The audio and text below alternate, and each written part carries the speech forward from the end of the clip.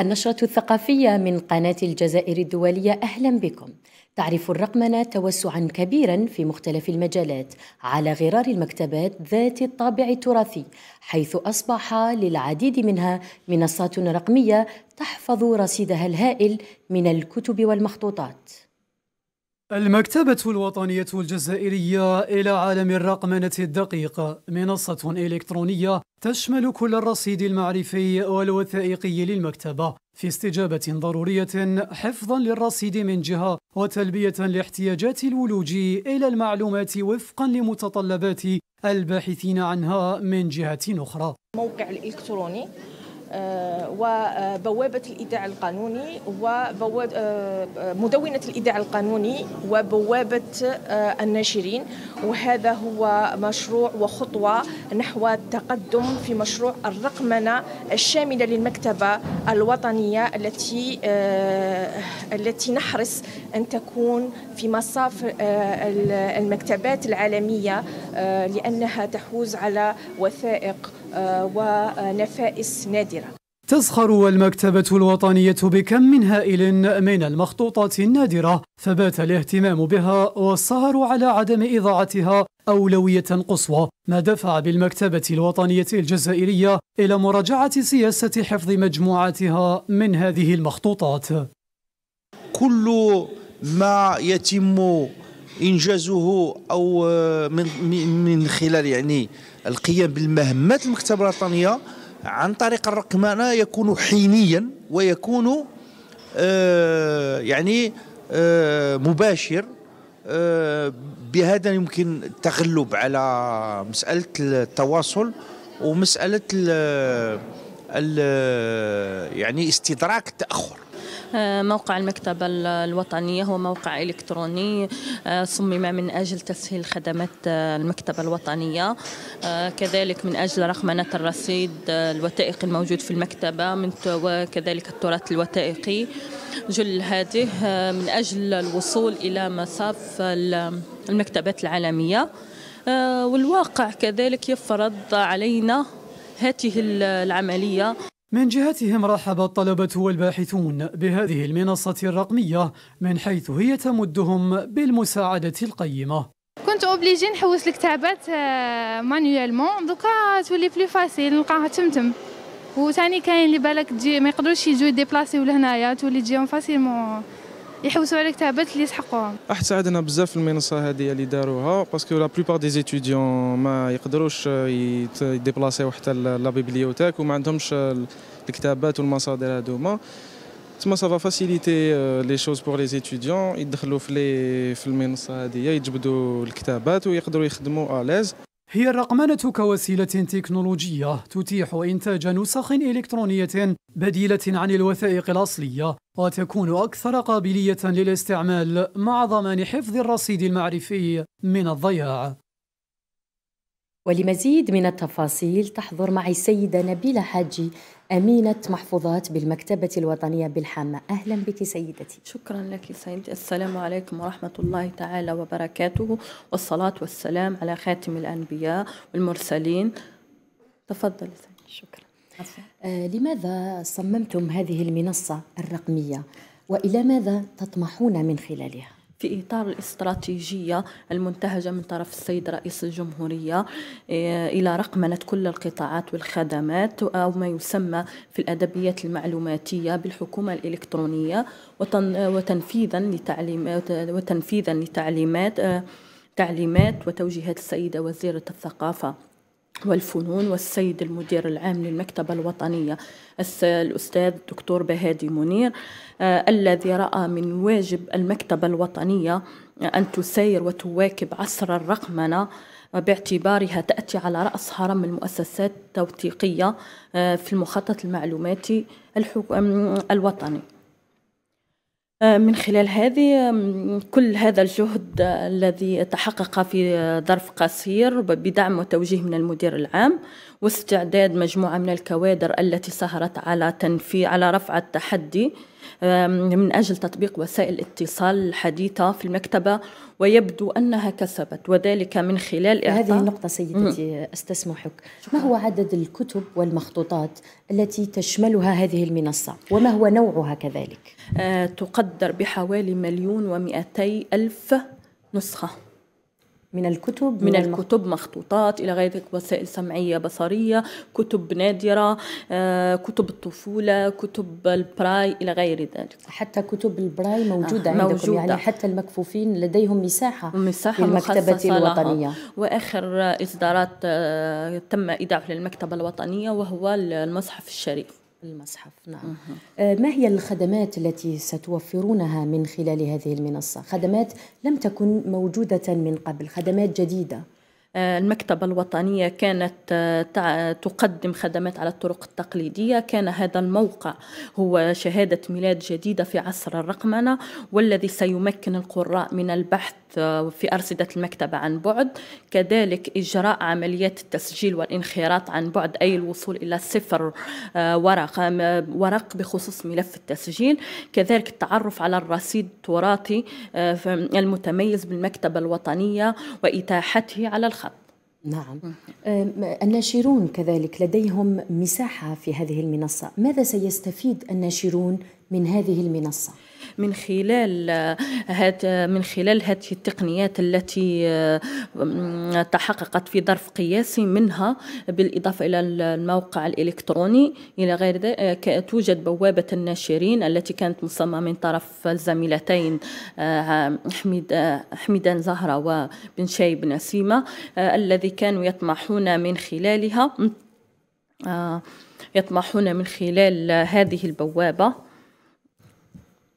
يطمحون إلى, إلى ماذا؟ يطمحون من خلال بوابة الناشرين إلى تسهيل مختلف التعاملات في المكتبة الوطنية كذلك إعطاء إحصائيات دقيقة حول الناشرين. يعني الناشر من الآن فصاعدا وبهذه المنصة لن يكون مضطرا على الحضور الج... مضطرا إلى الحضور الجسدي عفوا فسيراسلكم عبر الإيميل عبر, عبر الكترونيا عبر وسيسجل عبر الاستمارات التي آه، موجودة على في المنصة. من خلال منصه نعم. المنصة وهو يوجد رابط لبوابة الناشرين.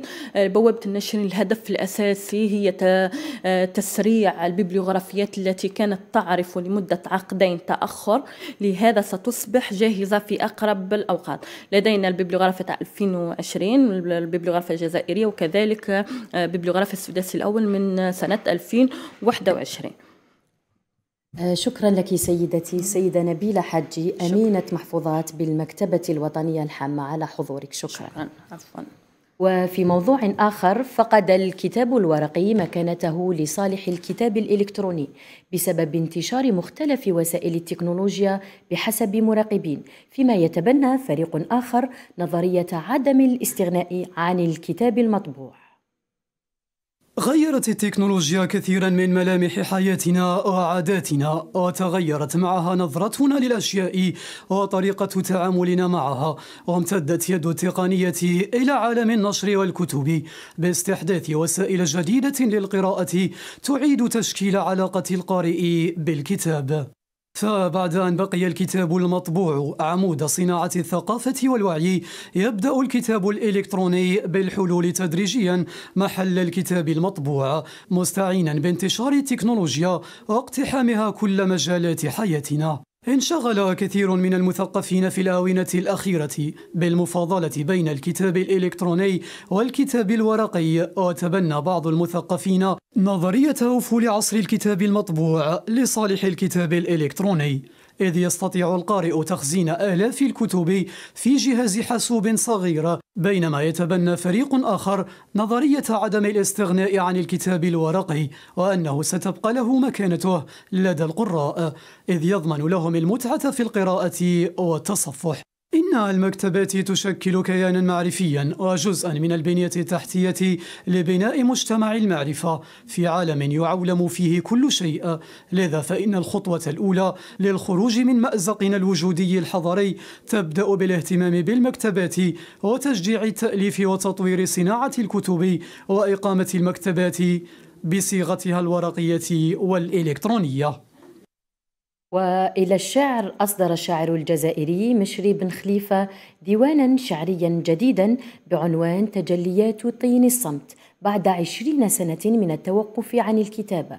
ويأتي هذا الإصدار امتدادا لمسيرته الشعرية التي بدأها بديوان سين. بن خليفة اعتبر ديوانه الشعري رؤيه مغايرة ومختلفة في كتابة النصوص الشعرية تستند على نص يتخطى ويتجاوز الراهن واصفا التجربة بلحظة الشعر الهاربة دوما من التحديد في زمن أصبح فيه الشعر محاصرا بالسرديات المتعددة. تتنافس مسرحية GPS للمخرج الجزائري محمد شرشال على جوائز المسابقة الرسمية للدورة الثانية والعشرين لأيام قرطاج المسرحية التي ستعقد بتونس من الرابع إلى الثاني عشر ديسمبر المقبل.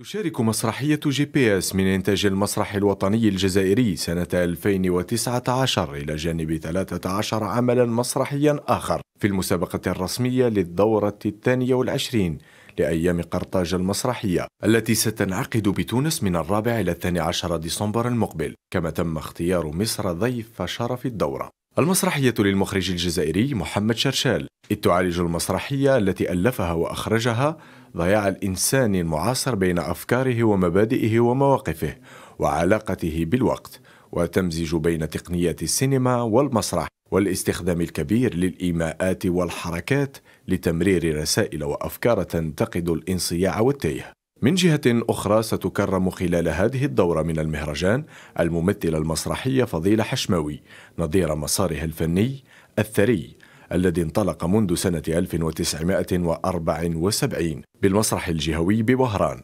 وذلك رفقة أسماء من المسرح العربي والإفريقي. على غرار سعيد الحامي من تونس أحمد فؤاد سليم من مصر وجان سيبي أكومو من كينيا. إلى جانب فرقة مدينة تونس للمسرح التي تعتبر من أعرق فرق الفن الرابع. يستخدم الرمال والظل في لوحاته الفنية. هو الفنان التشكيلي الأردني محمد سمارة. ستيني يمارس الرسم منذ زمن طويل بطريقة غريبة ومختلفة.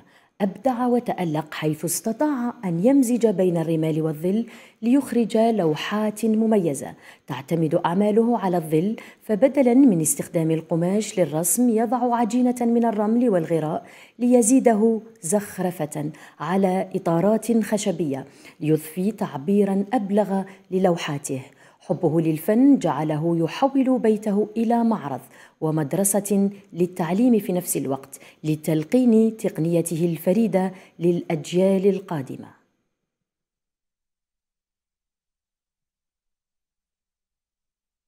افتتحت مصر طريق الكباش الأثري الذي يعود تاريخه إلى ثلاثة آلاف عام في احتفال مبهر شهده الآلاف عبر العالم. الاحتفال لقي إشادة واسعة على الصعيد العالمي.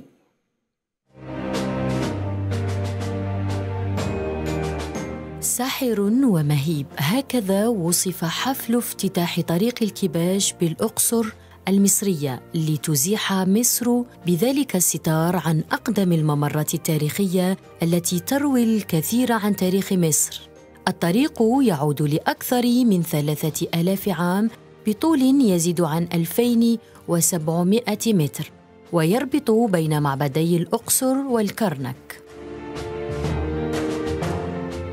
أكبر متحف في الهواء الطلق مرصوف بالحجر الرملي يضم آلاف التماثيل بثلاثة أشكال شيدت على مساحة تقارب الألف قدم وتعود لعدة سلالات في عهد الفراعنة.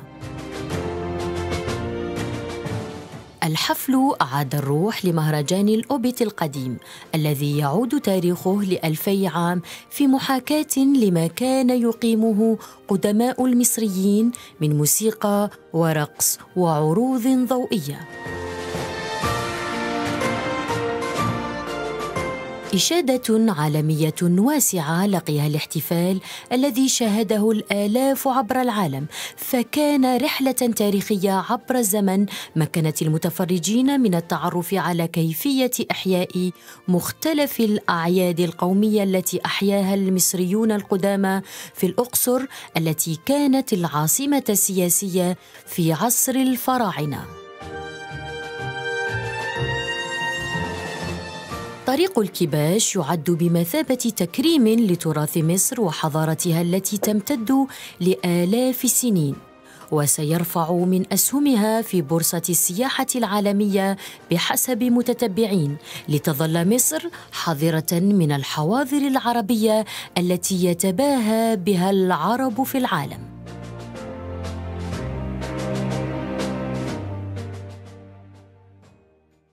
تم تحويل منزل نيلسون مانديلا أول رئيس أسود يقضي على العنصرية في جنوب إفريقيا إلى فندق يحتوي على تحف ثمينة ومطعم تقدم فيه الأكلات المحلية. أول منزل في جوهانسبورغ.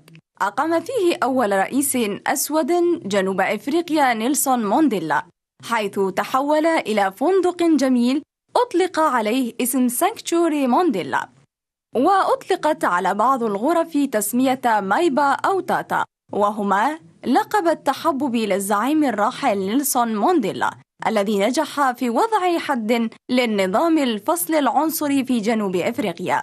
نريد أن نريك جوانب من ماديبا لم ترها من قبل، بالإضافة إلى بعض الأمور التي ربما لم تعرفها عنه من قبل. المكان هو منفذ مؤسسة نيلسون مونديلا يحتوي على قطع فنية جميلة للغاية وستكون فرصة أيضا لعرض كل هذه التحف الثمينة. أقام مونديلا في هذا المنزل بعد وقت قصير من إطلاق سراحه من السجن عام 1990 حيث بقي فيه ثمان سنوات يحتوي الفندق على مطعم أين تقدم الأطباق المفضلة لدى الزعيم ومنها ذيل الثور المطهو. وتتولى قيادة المطعم طاهية نيلسون مونديلا كوسوليسوا نودوية ترغب الإدارة في الحفاظ على جو المنزل وجعل الزوار يعجبون بمنزل مونديلا ويرغبون في العودة لزيارته مرة أخرى. نهاية النشرة نلتقي في مواعيد ثقافية لاحقة.